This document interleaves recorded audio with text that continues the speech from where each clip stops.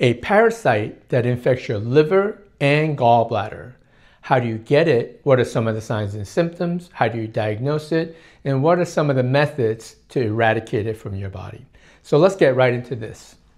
So Clonorchis is a Chinese liver fluke. It's a parasitic worm.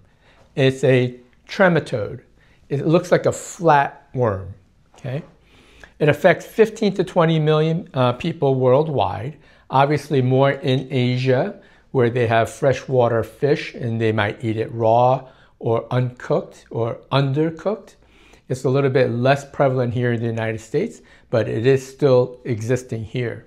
Okay, so there's another form called uh, fasciola, but there are other ones. There may be three or four different varieties of fluke that can infect your liver and gallbladder. So it infects the liver, gallbladder, and the bile duct. Okay, and the reason it likes to go there is because it's rich in nutrients, and the larger bile duct provides a shelter for these worms. Okay, and, and it's a place to reproduce. So they basically get into your stomach, and then as it hits the duodenum, it kind of sneaks up into the bile duct gallbladder, and liver. So the mode of trans uh, transmission is uncooked or undercooked freshwater fish, livestock. So people who handle livestock um, could potentially get it, and also things like watercress, where they um, use fresh water and, and, and grows in fresh water. Uh, it can be in watercress or vegetables that are irrigated with water that's contaminated. So poor sanitation areas will tend to have it more often. It doesn't transmit from person to person. That's what the literature says. However, there could be a possibility of transmission through sexual contact. All right? So, what are some of the signs and symptoms? Okay. First of all, it can impact the GI tract, so you can have indigestion, nausea, vomiting, diarrhea, and cramping. You can also have things like hives or rashes due to histamine responses. You got to remember these flukes or liver flukes don't just live in the liver and gallbladder. It can live in other areas like pancreas or the lungs and so forth. So there are other areas that it can invade, but it tends to like the liver and the gallbladder.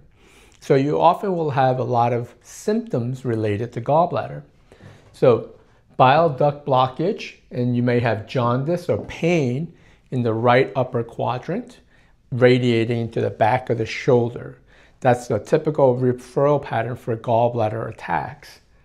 So gallstones are also very prevalent uh, when you have these.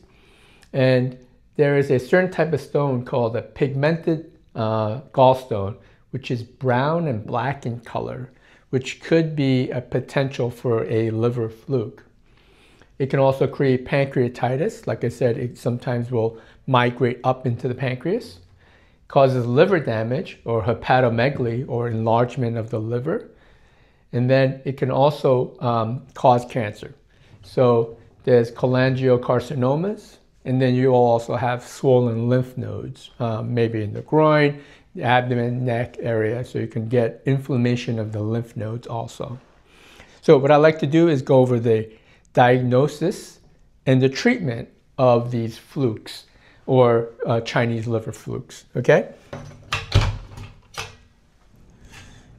So when we look at testing, we can look at a stool sample. Basically, you catch a stool sample and they will do a ova and parasite testing under a microscope. If you suspect that you have a liver fluke and the first test is negative, you definitely want to go ahead and repeat it more than once, okay? So that's the stool test you want to do. In terms of a blood test, you can do a PCR test for the Clonorchis sinensis, which is the Chinese liver fluke. You can also do a bile or serum IgG4.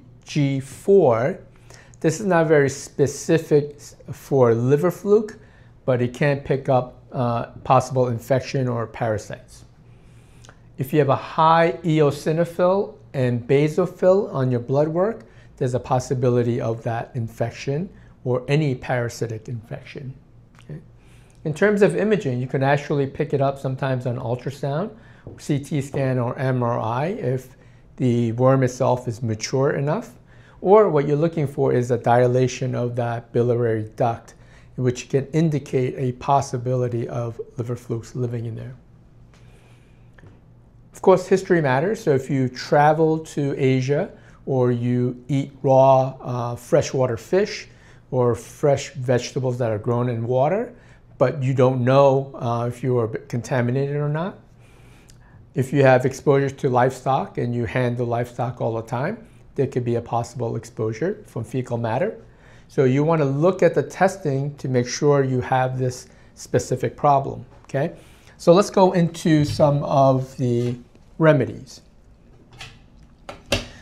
Now, I don't prescribe medications in my office, but here are the medications listed here, right? You would have to take a course of medications in order to eradicate the liver fluke. Let's talk more about the herbal remedies. So in order to prepare your body for a cleanse or the parasite cleanse, you want to be able to support the GI tract and the gallbladder for a minimum of two weeks prior to going into taking antimicrobial or anti-parasitic herbs. I would continue the GI and the gallbladder support through the herbal remedies. Okay, so you'll start two weeks uh, of GI support and gallbladder, and you will continue this for the next six to eight weeks. Week number three, you're going to start the anti-parasitic herbs. So you can use things like woodworm, black walnut um, hull, garlic, clove, oil of oregano, berberine, neem, olive leaf, and you can also consider using a binder because when you start to kill off these um, parasites, you're going to have some die off. So you want to be able to bind some of the toxins out of your system. You can also use Mimosa pudica. And another trick is stirring up those um, liver flukes with a coffee enema. So when you do a coffee enema, uh, some of that caffeine and coffee will get absorbed into the portal vein, right into the liver, and it can kind of stir them up. And you can utilize that to shake them up and utilize the herbs. My recommendation typically is to rotate the herbs every two weeks. So many companies will come with a concoction of multiple herbs in their products. So let's say you use a company like Designs for Health. They'll have an anti-parasitic remedy. You'll use that for two weeks.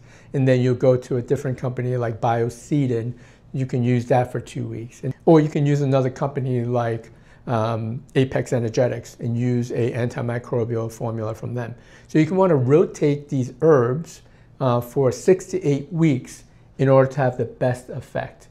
And sometimes you will see them in the stool, right? They basically look like tiny little flat worms uh, in the stool when they start to pass. So you want to go ahead and make sure to check your stool for that.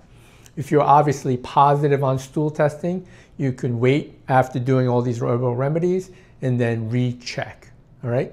Sometimes it can be kind of tricky because everyone's a little different and depends on how significant the infection is, all right? My name is Dr. Jin Sung. We're Clinical Excellence Meets Excellent Results, and we'll see you guys next week on the healthy side. Have an awesome day.